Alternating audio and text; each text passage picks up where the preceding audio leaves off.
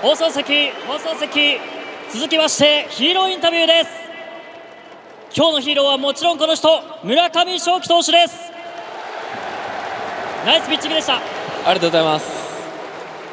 大事な大事な初戦を任されました。どんな気持ちで試合に臨んだんでしょう？まあ、初戦なんですけどやっぱ交流戦で投げ合って負けてたのでリベンジをしたいと思って上がりましたそのリベンジの気持ち今日は最速152キロも計測気合も入っていたんじゃないでしょうか。そうですねいい緊張感が力に変わったので良かったと思います。4回までパーフェクトピッチング7回無失点。改めてご自身のピッチング振り返っていかがですか、まあ、序盤はテンポよくいけたのが良かったと思いますし、まあ、ピンチでも粘れたのがやっぱ無失点につながったかなと思いますそして中盤には味方が大量援護。あれはベンチからご覧になっていていかがでしたか？本当に、えー、4点と4点、3点と本当にビッグイニングで点を取ってくださったので本当に投げやすくなったっていうか、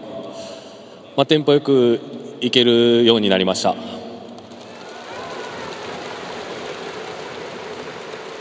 試合の前村上投手はチームを勢いづけるようなそんなピッチングがしたいそうおっしゃいました。改めて今日の活躍いかがですか？いやでも、まあ、皆さんが守っていただいて打ってくださって本当にこういう試合ができたのでまた明日からもいい形に入れると思います。さあ38年ぶりの日本一へ多くのファンが応援する中明日以降に向けてチームを代表して一言お願いしますまあ、まず初戦取りましたけど、えー、厳しい戦いが続くと思うので